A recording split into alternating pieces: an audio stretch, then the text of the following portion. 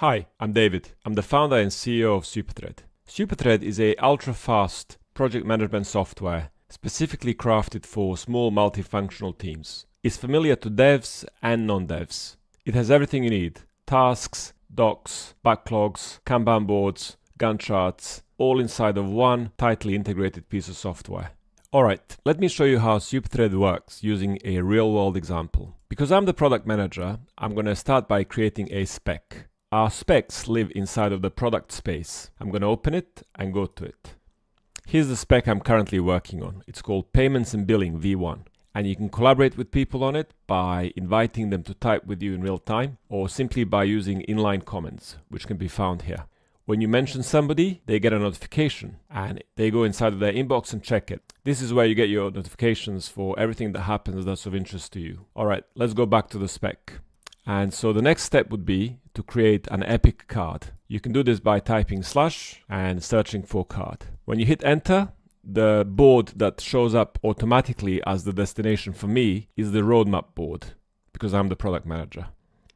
Anyway, here's the epic we created earlier. I'm going to click on it and as you can see it opens side by side with the spec document. When it comes to the epic cards, you can also collaborate inside of them in real time. I've then asked my tech and design lead to break down this epic into child cards, which they've done. As you can see, some of the cards live inside of the design board, and some of them live inside of the active development board, which is inside of the engineering space. I can jump to these cards very easily by just simply clicking on them, like so. And then, if I want to go back, I just click here.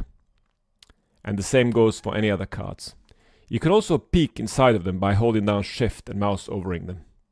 We can also see that this card is part of a company initiative called monetization. This particular card lives inside of the initiatives board. So if I click on it, it's going to open up. But then if I click on the initiatives board, you can see that here we use the Gantt chart view.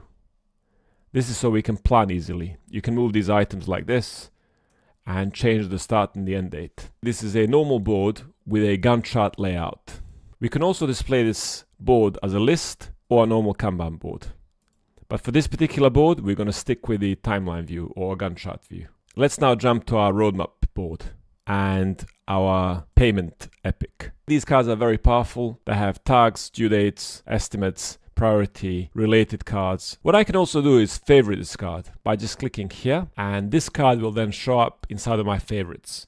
Alright, so if I want to find any of these things that I was talking about earlier, I don't have to go inside of the spaces or favorites. I can simply search for them. So if I want to find a payment plan, all I have to do is click on the Command K on my keyboard and search for standard plan.